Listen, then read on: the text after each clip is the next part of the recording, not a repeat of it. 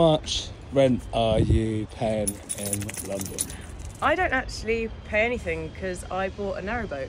Oh wow, can we have a tour? Yeah. Hi, I'm Shannon. I'm an artist and I live on a boat with my little dog Gilbert. It's a bit of a big step to watch out. Oh my god. Mind your head as you come in.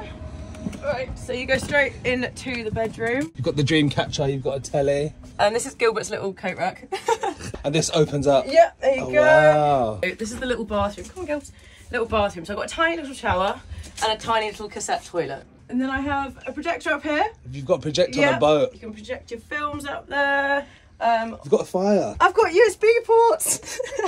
You've not insert that on a boat. There's so little space Yeah. that you have to like utilize everything is like space because I had a horrible landlady and also I've got a dog, so nowhere allows oh, animals. Oh, yeah. Bought the boat, had no idea about boats, Yeah. no idea what I was doing. So I pay around 200 for the loan that I got from the bank.